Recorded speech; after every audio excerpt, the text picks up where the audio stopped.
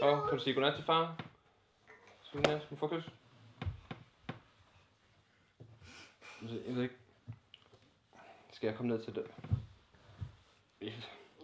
Er det bedre, at du kommer op til mig, eller? Skal jeg, kan, du, kan du stå heroppe? Og så på den måde... Jeg, skal jeg, skal, jeg, ved jeg, kommer jeg ned. Jeg kan også komme- jeg kan sagtens komme ned til dig, hvis det gør det nemmere. Gør det? Ja, det ved jeg ikke. Og nu bliver jeg også... Jeg ved ikke. Nå. Jeg, jeg, jeg, det er som om, jeg, jeg, jeg får sådan en stræk i nakken, når jeg skal derned, kan mærke. Kan du stå her? Nej, det kan du heller ikke. Jeg prøver. Nej, ej, det går galt, altså.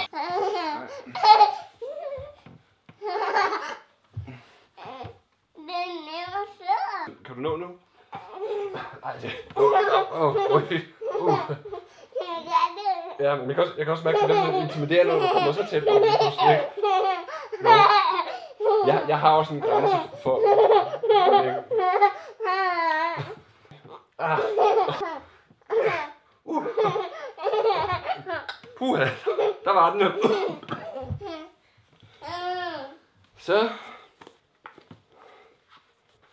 Kan du sove godt?